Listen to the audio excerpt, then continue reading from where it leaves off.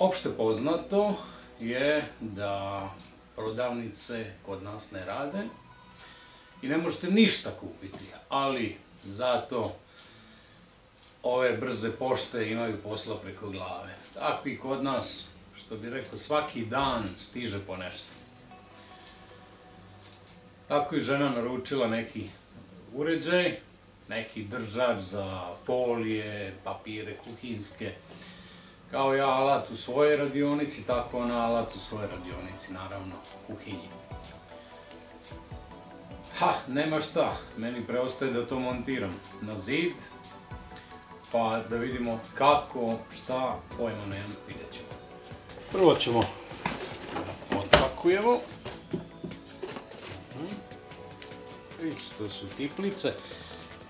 Dobio sam i tiplice, samo su male. Pa dobro. Nije ni ovo tako teško. To bi trebao tu negdje da. Nema šta. Dva šarafa, dve tiple na određenom razmaku, pa nema druge nego po alatu radionicu. Evo ovako, šta nam treba od alata? Treba nam bušilica, čekić, koja možda buši zid, vidijumske burgije, tiple, laser vaga i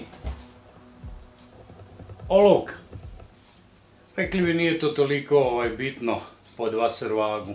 Verujte, kad god sam odokativno, rekao dobro je, uvijek je ugla u desnu stranu, pojma nemam. Vaser vaga je neizostavna da bi to bilo kako treba. I naravno, metar koji sam zaboravio. Ajmo po metar. Evo ga. Prvo ćemo da izmerimo visinu od šarafa. 7 cm od vrha. Odredit ćemo otprilike visinu gdje ćemo smontirati.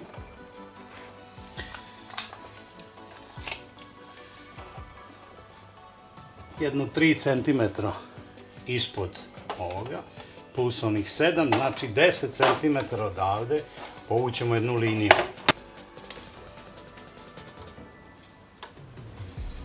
Staviti vaser vagu, da bude tačno ravno. Povući ćemo tu liniju. Stavit ćemo da nam ovo bude ravno sa ormarićem, tako da moramo izmeriti i ovu daljinu šarafa. To je također 7 cm. Sada ćemo od kraja izmeriti 7 cm i obeležiti prvu rupu. Sada izmerimo razmak između rupa, tačno 30 cm, naravno i ovdje odmerimo tih 30 i obeležimo. Sada treba izbušiti rupe. Vidjet ćemo, originalne tiple su meni se čini malo slabe, pa ćemo staviti malo jače. Evo našao sam neke od nečega originalne, ove će biti odlične. Sada da nađemo burgiju te debljine.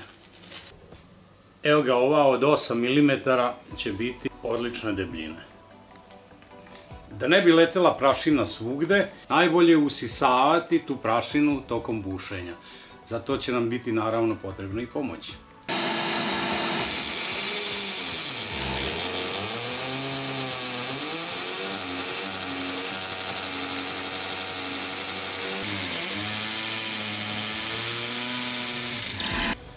Sada ubacimo tiple.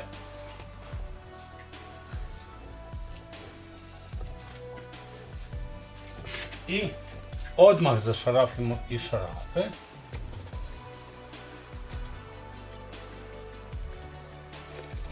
I sada jednostavno okačimo i samo malo pritegnemo da ne bi spadalo.